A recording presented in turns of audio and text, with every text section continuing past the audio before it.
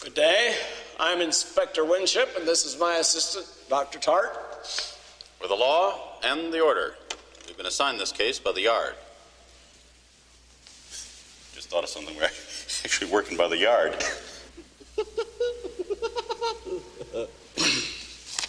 We received this letter. We're here to investigate the Morley case. The Morley's death was an accident. You are mistaken, gentlemen. Perhaps we should make that decision. The uh, letter stated that it was definitely murder.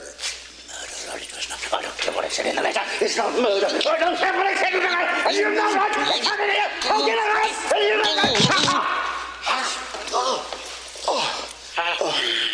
These uh, two gentlemen are here to investigate the death of Lord and Lady Morley. We're here to investigate the murder.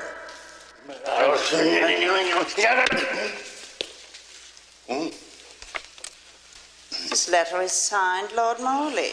That's right. Lord Morley was dead at the time this letter was written. How do you do that?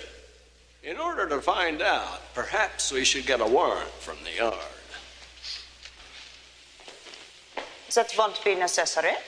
Shall I take them to Mistress Phyllis? Yeah, show them to the study.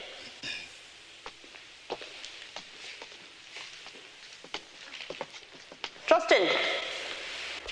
May I speak to you for a moment in private? Excuse me, gentlemen. Do me a favor, will you? Don't say that word around this guy. What word?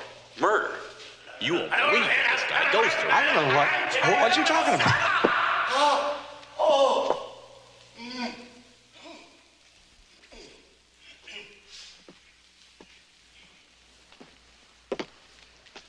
Walk this way.